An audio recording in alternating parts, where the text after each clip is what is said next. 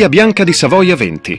Nel cuore di Milano, entro la cerchia delle antiche mura spagnole, ha avuto la sua sede sino al 1975 la casa editrice Mondadori. Qui, nel comune di Segrate, fuori da un tessuto urbano congestionato, in prossimità dei più importanti nodi stradali e dell'aeroporto, fu deciso di edificare la nuova sede. Il progetto venne affidato a Oscar Niemeyer, il celebre architetto costruttore di Brasilia. Con lui collaborarono due altri architetti, l'italiano Luciano Pozzo e il brasiliano Glauco Campello. Fu nell'autunno del 1970 che si cominciò a lavorare nel cantiere di Segrate.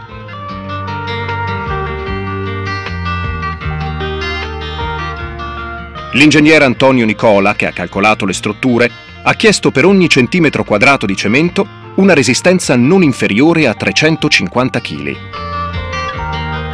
Al termine dei lavori, oltre 1650 tonnellate di acciaio saranno state impiegate per formare l'invisibile e formidabile scheletro dell'edificio. Qui vediamo l'armatura dei pilastri, con barre di 60 mm appositamente trafilate.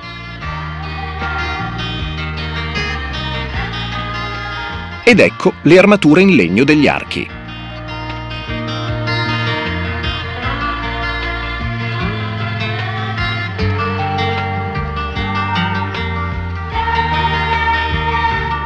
Dalle auto betoniere, una grande pompa fa salire il calcestruzzo fino a un'altezza di 25 metri.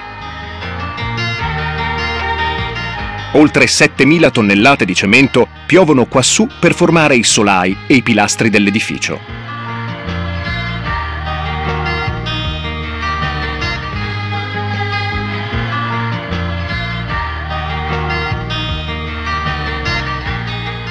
E le fondamenta aeree a cui appendere l'edificio potranno dirsi completate.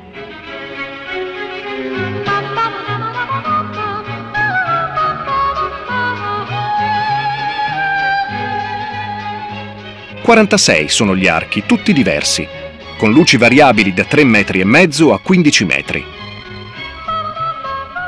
Capricciosa di simmetria che alleggerisce l'imponenza delle strutture e toglie loro ogni inflessione di neoclassicismo. Ora è necessario costruire l'intelaiatura appesa dove gli uomini dovranno vivere e lavorare. Una gabbia di vetro e acciaio di 7.000 metri cubi, suddivisa in cinque piani e progettata dagli ingegneri Leo Finzi e Edoardo Nova.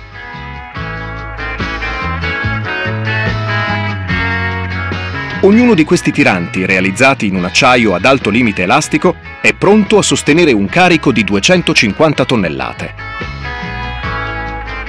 La saldatura a nodi rigidi di travi e tiranti è già stata realizzata in officina.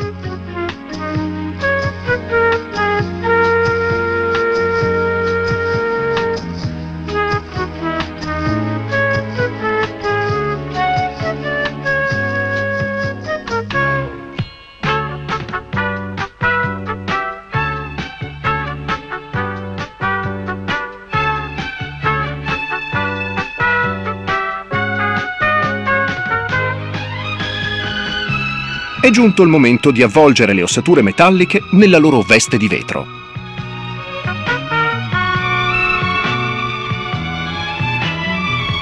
Disposto su cinque piani, l'open space, lo spazio aperto degli uffici, viene uniformemente ricoperto da una controsoffittatura in lamelle di alluminio.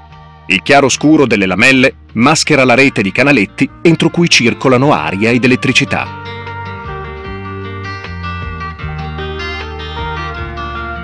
In questo patio, che s'apre al centro di uno dei due edifici minori, s'affacceranno la mensa, una banca, un supermercato, un'edicola, una libreria. Il lago progettato da Niemeyer è insieme scolo delle acque piovane, serbatoio per l'impianto antincendio, regolatore di temperatura per la climatizzazione degli edifici.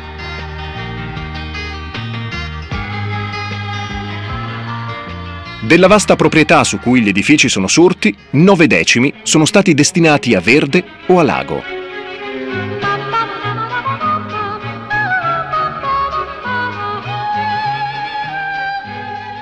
Quando Giorgio Mondadori venne a Brasilia si interessò all'architettura brasiliana e mi interpellò, desideroso di fare qualcosa di diverso anche in Italia. Dinanzi all'opera terminata, ringrazio Giorgio Calanca che ha supervisionato tutti i lavori mantenendo nel suo staff quell'ambiente di amicizia necessario affinché le cose potessero procedere nel modo migliore.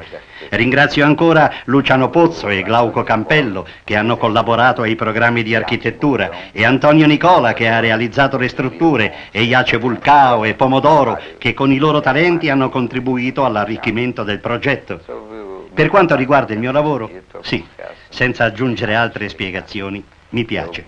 L'edificio, per esempio. Vedo in esso alcune cose che mi piacciono particolarmente. Il colonnato che lo delimita, il ritmo diverso che hanno le colonne con le arcate dalle dimensioni molto differenti tra di loro. Credo che tutto questo rappresenti l'importante contributo dell'architetto, perché in un'opera architettonica un'idea nuova è sempre necessaria. Per tutto questo sono soddisfatto e felice della collaborazione di un'equipe che ha così ben lavorato. E sono certo che questo edificio resterà come un buon esempio d'architettura contemporanea.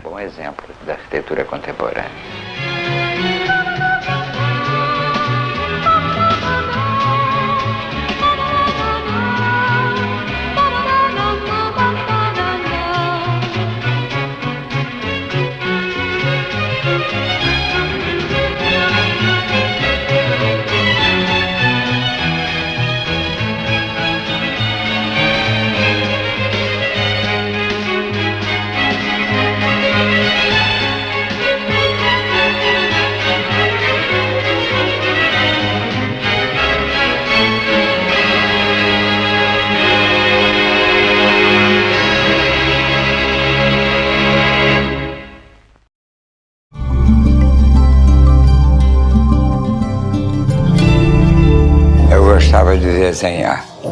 E na escola infantil eu tinha 10 em todas as provas. Então acharam que eu devia ser arquiteto. Mas hoje eu penso diferente. Eu fui entrei para a arquitetura pelo desenho. Mas hoje eu penso diferente, a arquitetura está na cabeça. Né? A gente pode pensar o projeto e sem pegar no lápis fazer o projeto. Né? É questão de saber visualizar ter a capacidade de imaginar a coisa pronta. Né? Então eu posso fazer um projeto mais simples, é claro, né? sem saída, sem pegar um lápis. Pensando duas, três manhãs no programa, como é que vai ser, o que há em volta, né? que o, o que cerca a arquitetura, o espaço vazio, esse espaço faz parte da arquitetura. Mas a arquitetura tem que se harmonizar com o ambiente onde ela é realizada. Isso é diferente. Criar surpresa, gente olhar e achar que tem qualquer coisa ali misteriosa que não entendeu bem. É a obra que eu tenho na Europa que eu gosto mais. Ele me procurou, ele tinha ido a Brasília e tinha visto a, a sede do Palácio da, do Exterior brasileiro. Então ele gostou muito da colunata me pediu que queria fazer a sede Mandadori e queria fazer uma colunata igual a de Brasília. Eu disse que sim, mas fiz completamente diferente. Eu procurei não mexer nas colunas, mas eu dei um ritmo diferente. Eu vi os vãos entre colunas diferentes, feito uma coisa musical. Um, um com 15, outro com 10, com 9, com 8. Eu fui variando os vãos entre colunas e ficou tão diferente, né? Que a arquitetura importante é a surpresa que ela cria. E quem vai ver a série Mandador fica espantado, porque nunca viu uma colunata em que os vãos são diferentes. Porque isso é que é arquitetura. É você fazer uma obra que desperte a atenção, a surpresa, não é? Que isso a série Mandador ficou muito bem porque eu sei quando a pessoa chega lá e fica espantado com a colunata. Ele nunca viu uma colunata, até hoje, eu nunca vi uma colunata igual do Mandador. Isso é que é importante, é criar coisa nova, não é? Por exemplo, na, na França, no Havre, eu fui com o prefeito do Havre ver uma praça que ele queria que eu desenhasse um teatro junto do mar. Eu olhei, frio, vento, Eu disse para ele, olha, eu quero afundar a praça quatro metros. Ele, ele ficou espantado, né? A praça era grande, né? Mas eu falei com tanta convicção que ele está bem e afundou. Então é a única praça que eu conheço no mundo que fizeram era mais baixa. E havia uma razão, eu queria protegê-la do vento, do frio, essa coisa toda. Então ela está tombada. Está tombada porque não existe uma praça igual. Existem melhores, mais bonitas, mas ter sido rebaixada para protegê-la, eu não conheço. O Mandadori. Você já viu em algum lugar aquelas colunas variando de vão? Você viu em algum lugar? Não viu, eu não vi. Não tem. Então é uma, é uma criação, uma coisa nova, que espanta, que cria surpresa e que é bonita. A natureza, a gente tem que aceitar a natureza e não, me, não tocar na natureza, se adaptar. Agora, nós estamos falando muito da arquitetura, né, coisas, mas eu confesso a você que às vezes eu digo que a vida é mais importante que a arquitetura. Importante é a vida, né? A gente participar, lutar por um mundo melhor, mais justo, todos de mãos dadas, você ter o prazer ajudar o outro, né? Isso a mim, pelo menos, me preocupa mais do que a arquitetura. A vida é que é importante. Não pensar que nada é importante. O homem está passando por, pelo, pelo, pelo planeta, não é? É, é um sopro, é um minuto, né? Então ele tem que compreender o mundo que ele vai viver e se adaptar e ser útil, lutar para o mundo melhor. Acho que a arquitetura, apesar de trabalhar muito, eu acho que a vida, o contato com as pessoas, a gente olhar para uma pessoa e achar que ela é boa, não ficar descobrindo defeitos. Todo mundo tem defeitos. E não pensar que é para ninguém é importante.